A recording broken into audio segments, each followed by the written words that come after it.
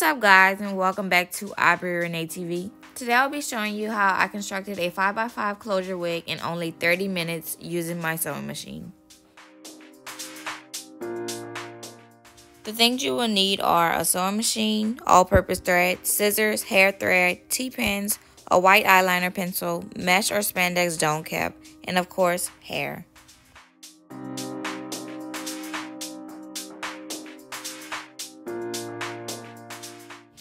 After pinning down my closure, I'm going in with my white eyeliner to outline the shape of it.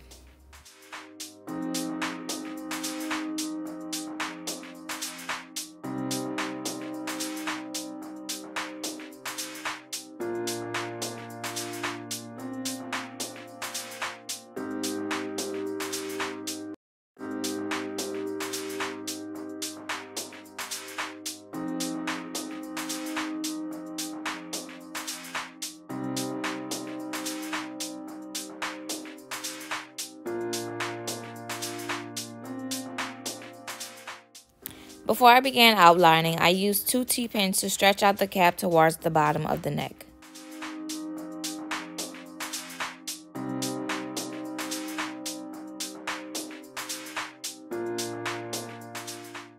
I'm using that same white eyeliner to outline the position of the tracks on the wig, and I'm measuring the space in between the tracks starting out with one finger.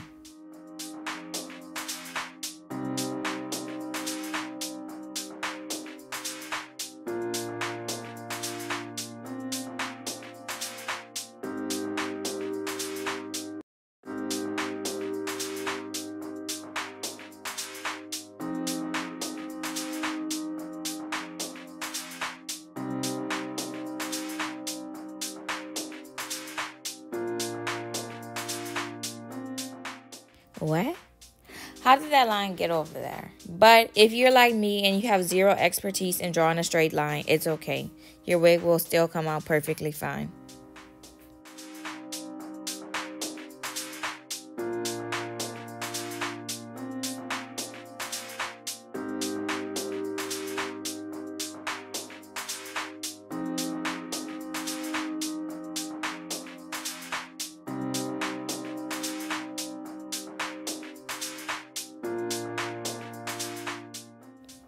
Towards the crown of the wig, I'm using two fingers to measure out the space in between the tracks now.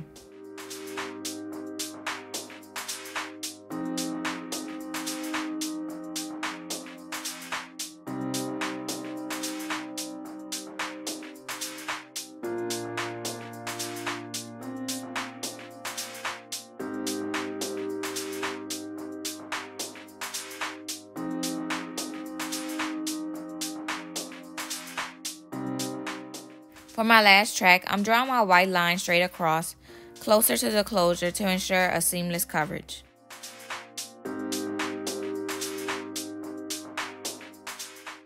Here's how your wig cap should look after you're done outlining it. Go ahead and place it to the side because now it's time to start sewing. Next, we're moving on to our sewing machine to double our tracks. Before you begin sewing, be sure to properly thread your machine and set the stitch to zigzag. If you have a sewing machine like me, I use Stitch 4, but you're welcome to use any zigzag stitch you'd like. To double the tracks, I'm aligning the webs on top of one another and running it through the sewing machine like so. Note your tracks won't be perfectly aligned. It is okay if your tracks come out like this.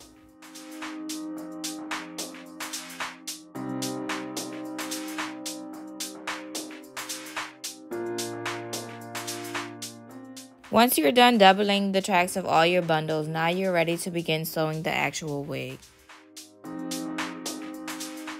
I'm taking my longest bundles tracks and placing it on the white line at the very bottom and sewing it onto the cap using that same zigzag stitch.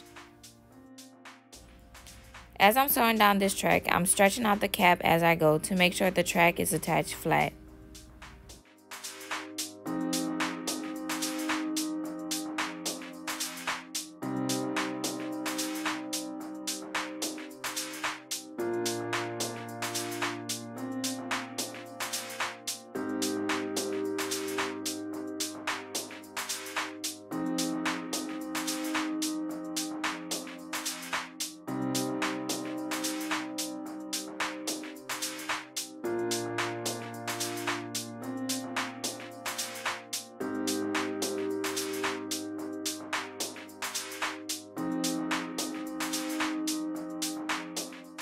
Be sure you are securing the end of each track thread before cutting it.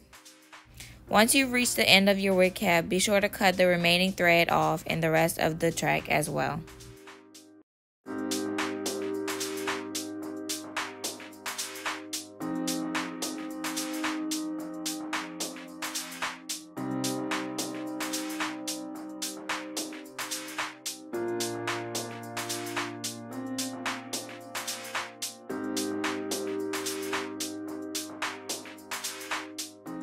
To make it easier and to ensure your track doesn't move, you can use a magic clip or any clip and start sewing the track behind the place of the clip like so.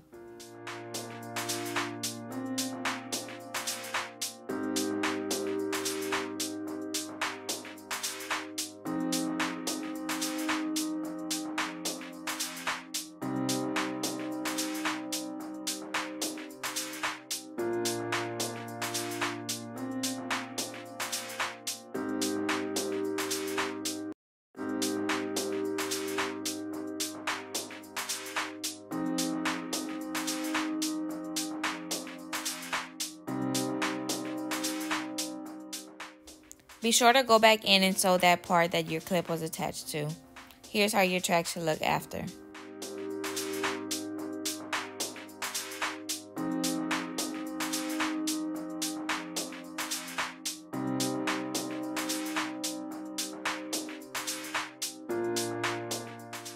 When the track line stops, just pick up your next bundle and add on to it and keep going like so.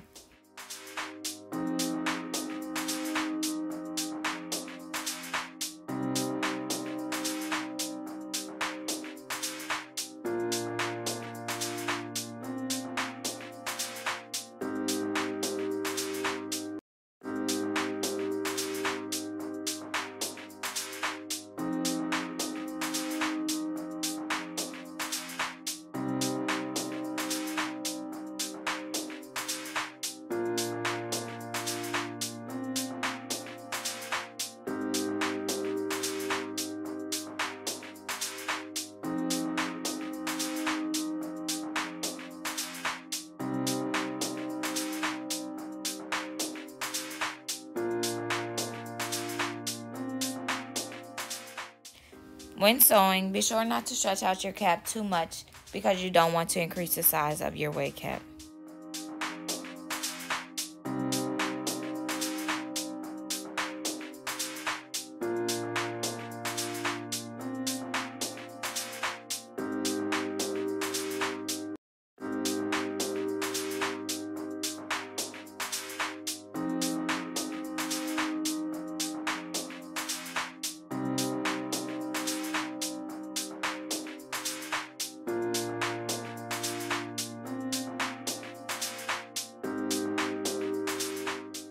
After you have attached all those tracks, here is how your wig should look now.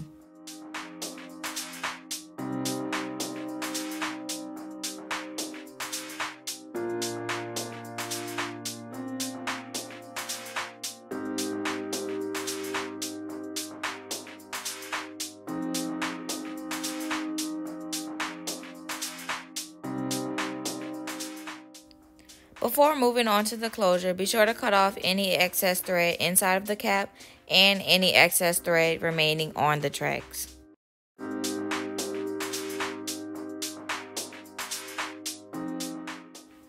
After putting the wig back on the mannequin head, I'm pinning that closure onto its outline shape that we did earlier. Since all the tracks are completely sewn, I do have to play with it a little bit more to make sure it's in its right position.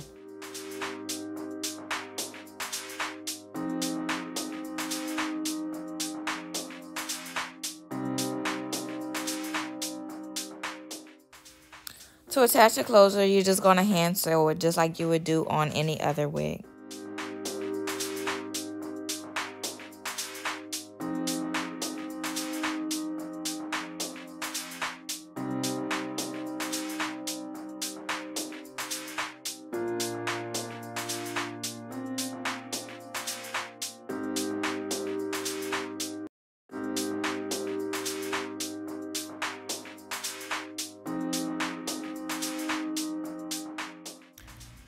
After triple knotting the end of that closure, you're just going to cut off the remaining cap under it.